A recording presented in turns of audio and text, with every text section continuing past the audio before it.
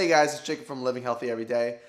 Uh, I just want to give a quick disclaimer about this video. I've been vegan before and I've been on tons of different diets like a paleo diet, anti-candida diet, where nothing, where everything you eat, nothing in that can be, can break down to sugar. Like, so no carrots, no, no sugar, no, nothing direct like that. I've been on raw diets. I've been on raw vegans diets, things to figure out what works best with my stomach, grain-free diet.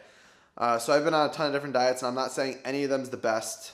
Uh, and that's my quick disclaimer. So I might have some bias in this, but I'm trying to give it the least amount of bias as possible for this video. So there's a cool new study that just came out about baboons. They took baboons and they fed, fed them the standard American diet, so a Western diet, and they found out their biodiversity and their microbiome was very similar similar to an average human, a Western westernized diet human. And they there's another study showing or also their biodiversity was less. So they had less types of different types of bacteria in their gut.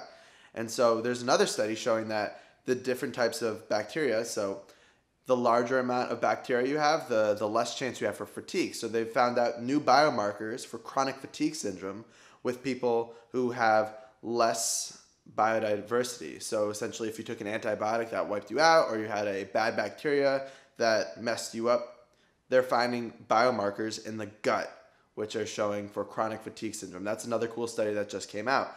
So, what this proves, and that there's also enzymes and DNA that that do turn on when you eat meat, such as if you were to eat fat, fat, animal-based fat, uh, there shows that there's certain bacteria that feeds on bile, so bile that comes out of your gallbladder, that comes out of your liver. This type of bacteria lives in that and only comes out when you eat animal fats. So that's not the best bacteria to have. And that bacteria is actually a pro, pro, pro-inflammatory bacteria. So, and as we talked about in a different video, inflammation can cause chronic fatigue, can cause depression and things like that. So like depression in or depression's uh, main cause is inflammation in the brain, and we talked about how to get rid of that. You can check out that in a different video I'll post in the description, and I can post it right here. Uh, so what they found is that this bacteria that goes into bile with animal fat will give you more inflammation. So that, maybe that's something we want to cut out. Maybe a vegan diet or a vegetarian diet, something very similar to that, uh, is healthier for us. I'm not saying it is, but that's just my my assumption based on these studies. It's really fascinating to see how we were once animals or creatures that ate vegetables, like 20 servings of vegetables a day. We ate berries and fruits and things that we could find.